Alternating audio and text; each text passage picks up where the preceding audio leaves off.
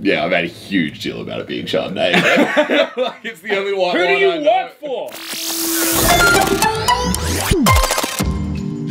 We are back again with another edition of Blind Wine Tasting, and we've got a special little treat for you. Uh, thanks to our friends at Sometimes Always. Uh, if you sign up to our Discord channel, you can get a cheeky little discount code for all of the wines that we try on this show. There's 10% off. All you need to do is sign up to our Discord channel, and you can get a sneaky little deal on these awesome little wines. Without further ado, let's taste some wine. Another week, more wine, more drinking. See, we've got looks like a predominantly red lineup this week. All right, cool. Wow, that's a banger. Straight up, dude. Like, first first wine, straight off the bat. Well, we're off to an absolute flyer, I reckon. This is smelling fantastic. Yeah. Oh, it is yummy though. Quite a dry red. Oh, I need to keep. I need to stop saying things are good before they've started developing in my mouth. That's fun. It's high acid, moderate tannin. It's got a bit of maturation on it. I like this one. Uh, it's really cool. It's got this like cool like cherry thing, bit of grip, bit of tannin, bit of structure. It's almost like ashy or chalky note that comes towards the end of it, which is quite common in a lot of red wines that I've had, and it's something that I don't really like in red wines. Nothing outrageously serious. This could be anything. Uh, I, it's not really screaming which, like screaming its variety or where it's from or anything like that. I think it's delicious. And I think it's $40 a bottle. Uh, and I would totally grab like at least six bottles. This looks fun. Definitely a bit unfiltered, purpley, ready. Mmm, that smells delicious. Oh yeah, cool. So we're sort of in sort of Pinot Grenache territory. This is a quiet wine. It's really, this is very shy. Mmm. Definitely a little bit acidic. Oh, almost a little bit too much acidity for me, to be honest with you. That's really interesting. This is um, a little power packet of a little wine. It's just, it's like when you meet it's someone new in the workplace It's very introverted. At, up front, you're like, I don't know if they like me. But if you have a few more sips over time, it definitely warms up. I think this facial expression that I've got, the like lowered eyebrow, I can't not have that on my face drinking that. Tannin for days, really unctuous, crunchy tannin. So for that reason, 12 bottles because I want to sell her some. Every sip I try this, it's just getting more interesting. Yeah, it feels around that mid tier again, so I'm gonna go forty dollars. I like it more than the first one, but it still only needs. I only need a bottle of it. I don't need more. Okay, this smells like I'm gonna like it. Pinot. it's just got that whole bunch Pinot character that is very, very inviting. Super savory. Uh, that is like Amaro bitter herb. We're talking about cumin spice. This is yeah, this is great. I'm so about this. That's juicy. It's oh It's dainty and French and like so beautiful and light and pretty. Really interesting tannin profile. It's full, it's sparkly, it's it's uh, littered uh, across the palate. man, I hope it's cheap. It's not gonna be cheap, but man, I hope it's cheap. Like in comparison to that last one, this is not quite as like I guess interesting, uh, but this is probably more more drinkable. Uh, would drop 40 bucks a bottle. Would grab six bottles. Really interesting, but stupidly tasty. Like ex- extremely good. Oh, deep red. If the last one smelled really like fruity and wholesome, this one smells fruity and dangerous. really fine, graphitey. this is a serious wine. Yeah, fuck, this is really delicious. This is this smells. These are all really good. Um, Spoke too soon. This is very good as well. Wow. I can't go three dozen in a row, can I? Like these three wines have just been next level. All the styles of wine that I really, really love to drink. This is a lot of fun. This is like where people are like, oh, I want to drink juice. You know, like the cool hipster kids are all about drinking that juice. This is what we're probably talking about. Yeah, I'm gonna say sixty dollars again, and I want another dozen of it. It's got these these really robust round tannins, beautiful blue fruit drive, and I would totally grab 12 bottles. Not that I believe that this has cellaring ability, it's because I would consume it with monotonous regularity.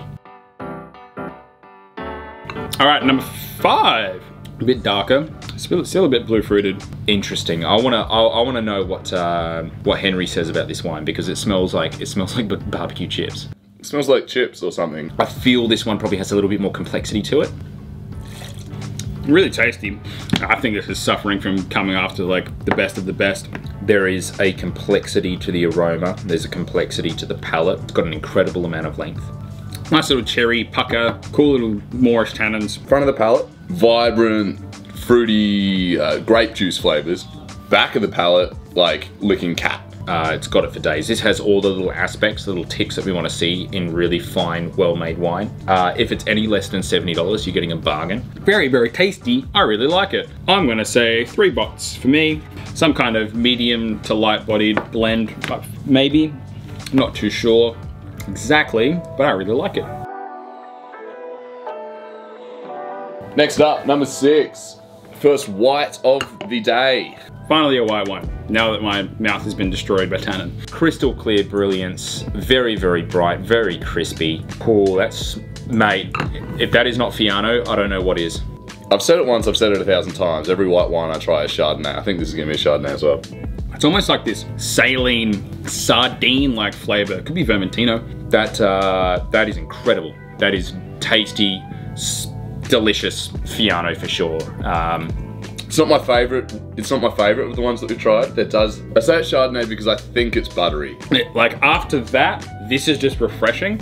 And it is that kind of fish and chippy beach wine for sure. Yeah, hands down. That's cool. That's fun. Uh, that is textural white deliciousness.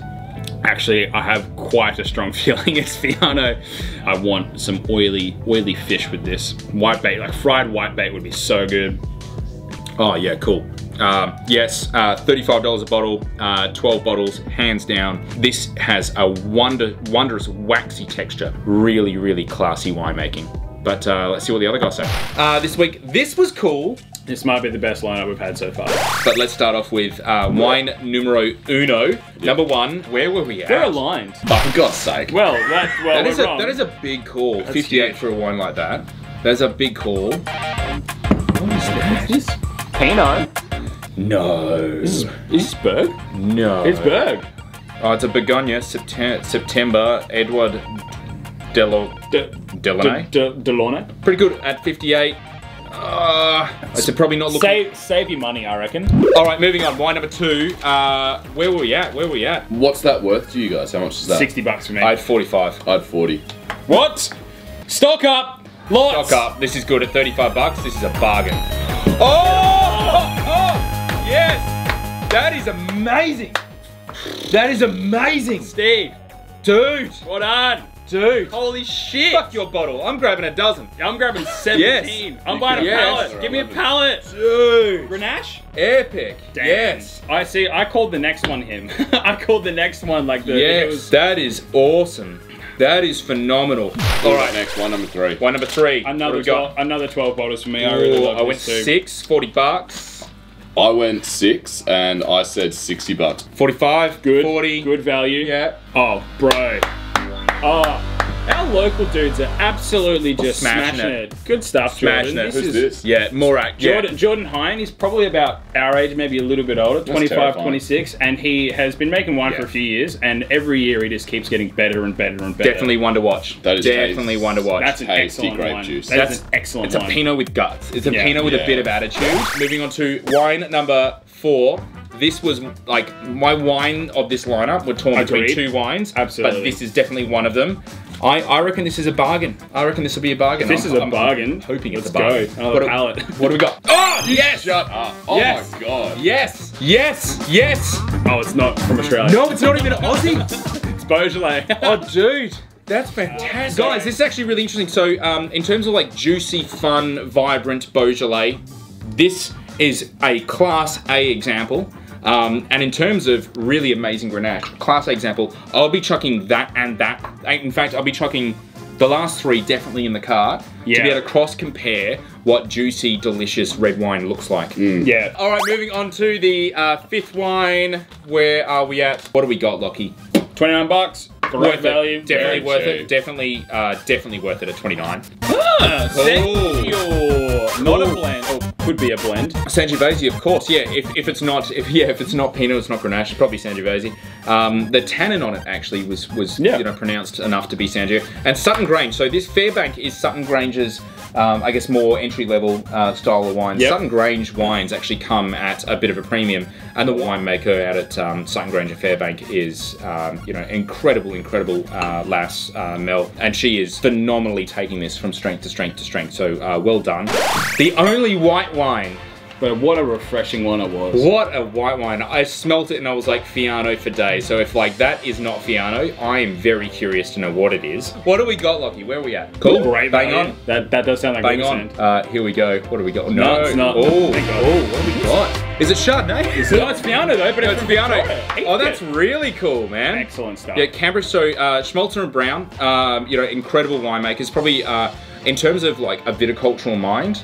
Um, also, uh, probably some of the most like Tessa Brown is is one of the most knowledgeable people when it comes to vineyards and viticulture. Really yummy honed Fiano. Excellent. Excellent That is Fiano. phenomenal, guys. What a lineup. this cleans up the lineup for the week. Thanks so much for joining along. Of course, like, subscribe, and jump on the Discord channel for a cheeky little discount offered from Sometimes Always. But until next week, we'll be here. Bye.